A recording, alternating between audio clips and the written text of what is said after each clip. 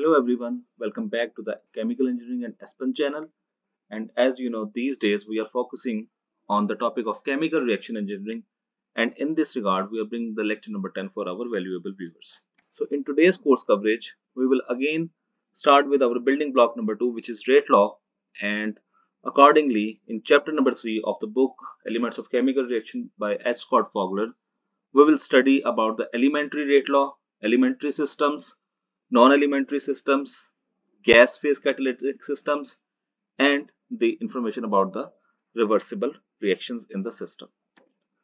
So starting with the difference between the elementary and non-elementary rate law, a reaction follows an elementary rate law if and only if the stoichiometric coefficient are the same as that of the individual reaction order of each species. To understand this, let's look at an example that 1 mole of A reacts with 1 mole of B to produce 1 mole of C and 1 mole of D. This is an irreversible reaction. The stoichiometric coefficient of A is 1, B is 1. If we write rate law as minus Ra is equal to KCACB, the species A, its concentration, its exponent is 1, same as that of the stoichiometric coefficient.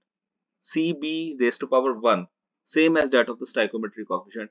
We will say that this system follows the elementary rate law or this rate law is an elementary rate law. However, on the opposite side, if you see here, Ca raised to power 2, the exponent is 2. However, the stoichiometric coefficient is 1. So that denotes the non-elementary rate law. A reaction follows a non-elementary rate law if the stoichiometric coefficients are not the same as the individual reaction order of each species. Another example, 2 moles of NO reacts with 1 mole of oxygen to produce 2 moles of NO2. So accordingly, if it is an elementary system, we will say concentration of NO raised to power 2 and concentration of oxygen raised to power 1. And if an elementary system, accordingly one of this should vary to ensure that it is not an elementary rate law. And if you remember our previous lecture, we said that we can simply write K if the stoichiometric coefficient is 1. But now in this case, one of the species has stoichiometric coefficient of 2, so accordingly we have written KNO, which denotes that NO is a limiting reactant in this system. Coming here, CO Cl2 produces COCl2, 1 mole of CO and 1 mole of Cl2. However, since it's a non-elementary system, so according to CO raised to power 1, which matches with it, but for Cl2 it is 3 by 2, 1.5, which doesn't matches with this. So this is a non-elementary rate law. So simply specifying elementary stoichiometric coefficient same as that of the power of the species or order of the species in the rate law. And if it is a non-elementary these two should not be same. Now let's solve an example related to elementary rate law.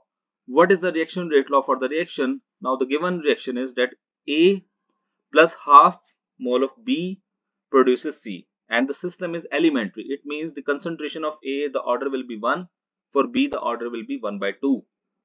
What is the value of R of B and R of C? Calculate the rates of A, B, C in a CSTR where the concentrations are C, A, C, B, K of A. These all values are given. First, we will see the relative rate of reaction. RA over minus A is equal to RB over minus B is equal to RC over C and RD over D. We have to use it in the system. So first we will write the rate law equation minus RA is equal to KA C of A CB raised to power 1 by 2. We know the value of C of A, it is 1.5, C of B, it is 9, K of A, it is 2. So accordingly, we will write it as 2, 1.59 raised to power 1 by 2 and accordingly minus Ra is equal to 9 mole per cubic decimeter per second. Now once we know minus Ra, we will use this relative rate law equation. We know R of A, we know the value of A, we know the value of B, the value of B is 1 by 2, accordingly minus 1 by 2, A is 1, so accordingly, once we adjust it, it will simply be RB is equal to minus 0.5 mole per cubic decimeter per second. Why the negative sign is appear here? Because we are saying R of B. This is a reactant. It cannot produce. It will disappear because it's a irreversible reaction. So accordingly, the negative sign is shifted over here. And we have seen that in chapter 1 as well. And for R of C, R of C over C, this is 1, this is 1. Simply R of C is equal to minus R of A. So accordingly, R of C will be 9 mole per cubic decimeter per second. So that is one of the example for elementary rate law in the system. Now we are saying it for the irreversible system, but what will happen if there is a reversible system in the process like A plus B produces C plus D but simultaneously C plus D to produces A and B. So accordingly if it's an elementary system we will say minus Ra is equal to K which is the specific reaction rate constant. If that would not have been a reversible reaction then this term would not have been there it would have been KCACB but since now the reversibility is involved this negative sign concentration of the product 1 concentration of product 2 divided by this k of c which is the equilibrium constant so this term is added in the system but you can see that the order of a is 1 as that of the stoichiometric coefficient b is 1 as that of the stoichiometric coefficient c and d 1 1 as that of the stoichiometric coefficient so it represents the elementary system for the reversible reaction for the irreversible reaction it will simply be KCACB or accordingly the powers will be changed as per the stoichiometric coefficient. But once the reversibility is involved, we have to take products into the considerations and that is divided by the equilibrium constant. Once we move to the reversible reactions, we'll see how this is formulated. For non-elementary rate law, many homogeneous or heterogeneous reactions do not follow the simple rate laws. For non-elementary reaction, for example, 1 mole of A reacts with 1 mole of B to produce 2 moles of C and 1 mole of D. If it would have been elementary, the stoichiometric coefficient 1 1, so in rate law it would have been Ca1, Cb1. But since it is non-elementary, so accordingly Ca raised to power 1 which although matches with it, but the power of B or the order of B doesn't matches with the stoichiometric coefficient, so it is a non-elementary system. So you can say first order with respect to A, second order with respect to B, and overall reaction order is third 1 plus 2 3 now for the homogeneous reactions let's take an example. 2 moles of N2O produces 2 moles of nitrogen and 1 mole of oxygen. So in such cases we write rate law as minus R N2O which is the reactant or minus RA is equal to K C N2O over 1 plus K prime C oxygen. The K and K prime are the strongly temperature dependent terms. However, in these expressions or in such expressions, it is hard to predict the overall reaction order. We have to assume some conditions like if the concentration of oxygen is too small, the overall value will be too small and accordingly it will be first order reaction or accordingly if this is too much small then N2O is too much small overall reaction order will proceed to the zero. So these, these are the conditions which we have to or assumptions which we have to consider while dealing with this non-elementary rate laws.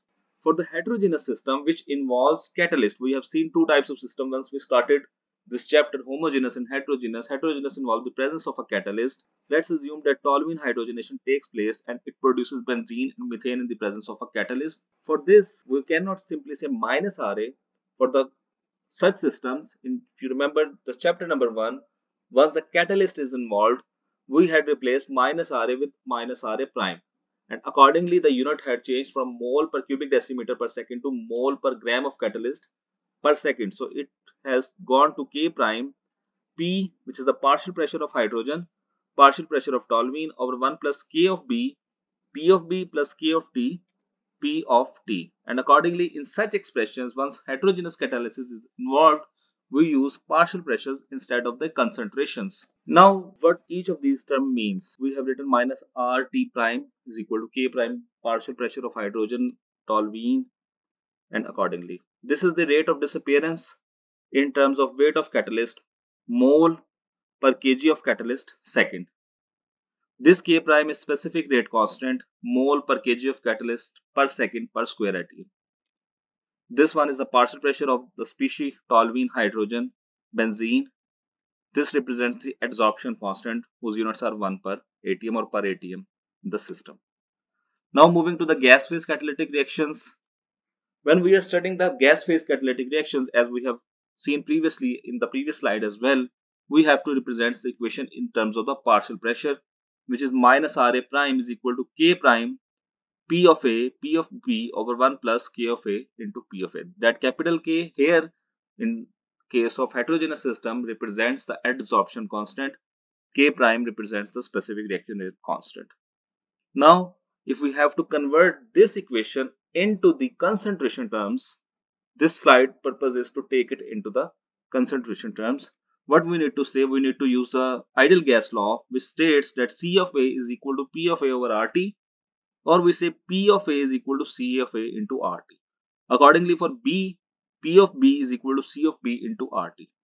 So what it will become K prime, P of A, P of P, C of A RT and C of B RT. So RT whole square, C of A into C of B 1 plus k of a rt into c of p of a is replaced by rt into c of a. Now minus ra is equal to minus ra prime into rho of b. We have seen that in our chapter number 1 as well that if we have to relationship between rate of reaction for the volumetric systems and for the catalytic systems then we have to multiply it with the density. So accordingly minus ra is equal to minus ra prime into rho of b. So converting that equation into minus ra terms what we need to do? We know the value of this one minus ra prime. We put it over here. K of prime rho of b rt square c of a c of b over 1 plus k of a rt into c of a. And accordingly this part this term if you see here k prime rho of b rt whole square will become k the catalytic equation can also be correlated in terms of the volume as well so this is the purpose of this overall slide in the system that how to convert the partial pressure to concentration number one and number two from minus Ra prime to minus Ra. Now for the reversible reactions, all rate laws for reversible reaction must reduce to thermodynamic relationship relating the reacting species equal concentration at equilibrium. And we know that at equilibrium, the rate of reaction is zero. Once the rate of reaction becomes zero, for example, let's assume a reaction that a of A plus B of B goes to C of C and D of D, where small a, b, c, d are stoichiometric coefficient capital A, B, C, D are species and there is a reversible reaction. Equilibrium constant can be defined as concentration of C at equilibrium, concentration of D at equilibrium raised to power their stoichiometric coefficients over C of A at equilibrium, C of B at, equilibrium raised to power A and B in the system. And, and accordingly, the unit of equilibrium constant is mole per cubic decimeter D plus C because they are in numerator and B and A because they are in denominator. So accordingly, the unit is set in the system. Now we stop it over here and in the next lecture, we will derive an expression for the reversible system let me show you that we will use 2 moles of C6, 2 moles of benzene converted to C12H10 and hydrogen. And we will derive equation and we will see how reversible reactions proceed for the gas phase system. So that's it from this video. I hope you have liked the video. And if you have any queries, you can provide your valuable suggestion comment in the comment box.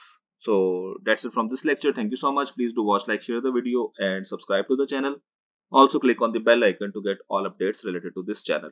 Till then, it's goodbye. Stay tuned for more exciting videos.